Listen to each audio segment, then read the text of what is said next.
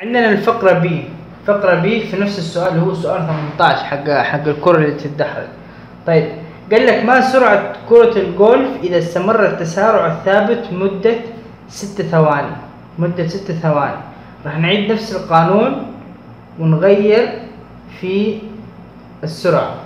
زائدا A مضروبة في الت... إحنا حطينا هنا اثنين صح؟ طيب راح نقول زي كذا آه الفي اي كانت اثنين زائد قوس سالب نص مضروبة في ستة نقفل قوس نص سالب نص في ستة كم يطلع معانا؟ آه سالب نص مضروبة في ستة. راح يطلع معانا سالب ثلاثة. سالب ثلاثة. سالب ثلاثة.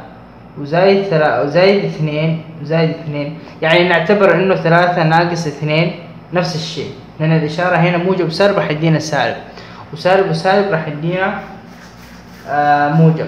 طيب. ثلاثة ناقص اثنين. لا لا لا.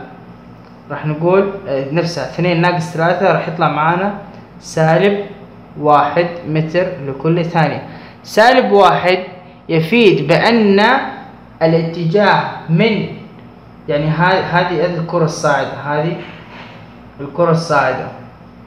وأخذناها بالموجب وتوقفت هنا ثم عادت مرة أخرى. بما أنها عادت معناته إنه الكرة الآن بدأت بالهبوط.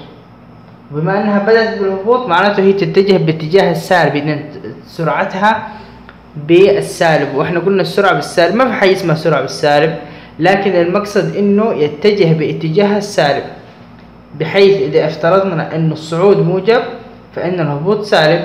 وبما إن إحنا حصلنا أول في البداية على إنه اثنين بإشارة الموجب انطلقت الكرة اذا هبوط الكرة راح يكون سالب بالسرعة.